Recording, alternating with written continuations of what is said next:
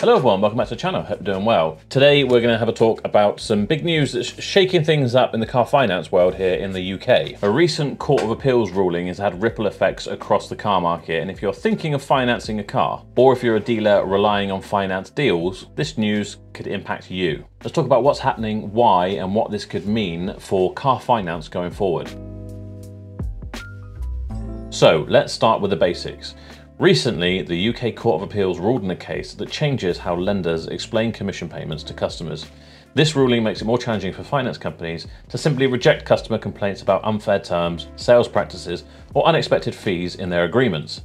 Now they're under pressure to ensure these deals are more transparent and fair, and if they aren't, the repercussions could be severe. Judges have decided to allow an appeal after a ruling that a broker could not lawfully receive a commission from a lender without obtaining the customer's full informed consent to the payment. The judges, who unanimously voted to allow the appeals, said that motor dealers acting as credit brokers have a fiduciary duty to their customers. This case was brought against three different lenders, one of those being Close Brothers. And in a statement, Close Brothers said, Close Brothers disagrees with the court's extension of the existing case law in this area and intends to appeal this decision to the UK Supreme Court. The court has determined that motor dealers acting as credit brokers owe both a disinterested duty and a duty of loyalty, fiduciary duty, to their customers.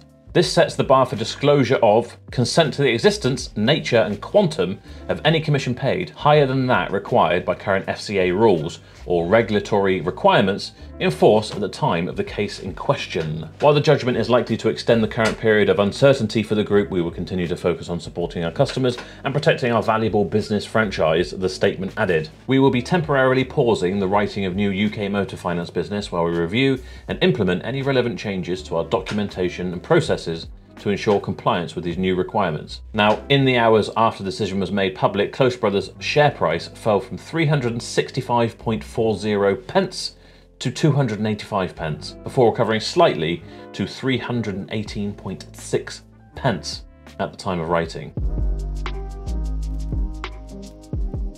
As you can imagine, this ruling has finance companies scrambling. Many are now reviewing their entire agreement structures and sale practices to make sure they're not leaving themselves exposed.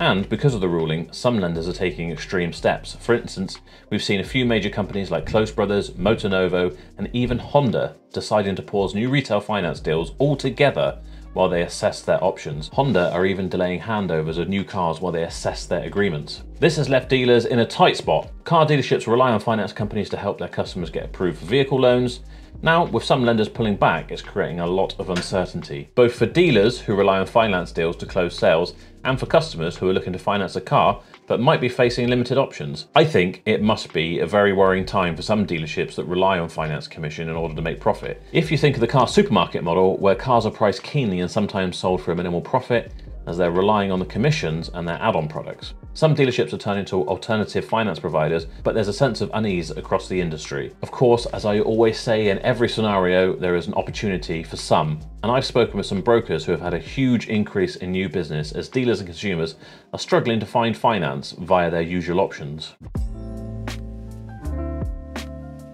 So what does this mean for consumers? Well, on one hand, the ruling could lead to better terms and transparency in finance agreements, which could be a big win for car buyers. However, on the other hand, we might see stricter approval processes, higher deposit requirements, or even higher interest rates as lenders look to cover their bases. I actually had a case this morning where a customer wanted to finance a 2011 Land Rover we have in stock. Now usually Close Brothers were the company to go to for older cars as they would lend against older cars than most, but obviously they're not doing any new business at the moment. So this means that the customer could face either a much more expensive option or just no options at all. So what could happen next? And this is where things get interesting.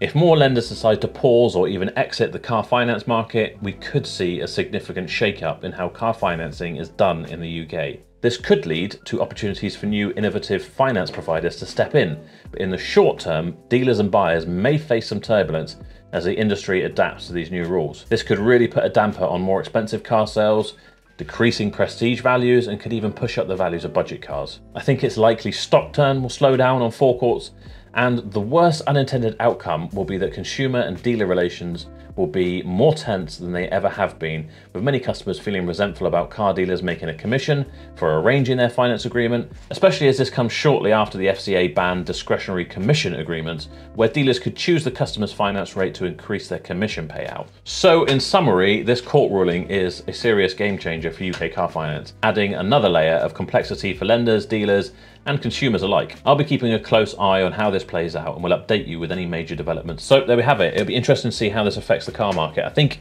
it potentially could put the brakes on car sales quite a bit. It's already been quite slow. What with the budget coming up, I feel like this is just a very difficult time in car sales and this is definitely not helping. It'll be very interesting to see what happens. Will this just be a one week thing?